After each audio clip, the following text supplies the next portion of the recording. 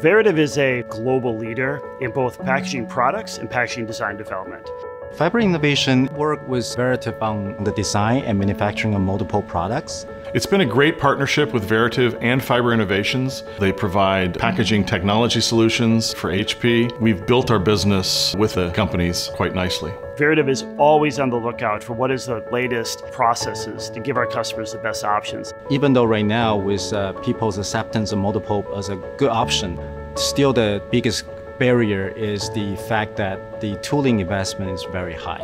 Previously, Veritiv has looked at 3D printing for the molded fiber technology. We haven't had much success with it. Typically, product from that technology doesn't last over 100 cycles. HP's tooling solution is taking digital technologies from our 3D business and applying it to molded fiber tooling.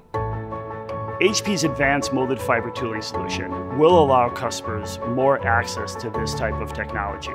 By allowing customers to make tooling faster and cheaper, it will allow them both to get parts ready as well as to iterate the design process much faster than they could with traditional tooling.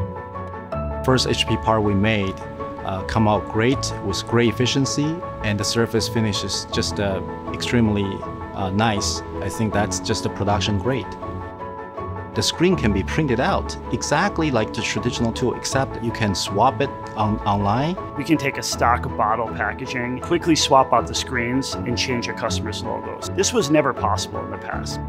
And the overall tool is so light. You can literally have one technician without having another assistant to help. So those translate to productivity gains from manufacturing perspective.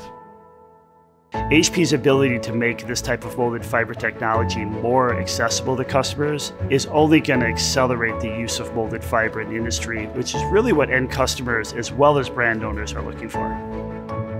I can envision a world where molded fiber is something that's easy to procure, it's quick to tool, and we can do things in, in molded fiber that you just can't do today. I'm excited to see what the molded fiber industry does with this technology. The sky's the limit.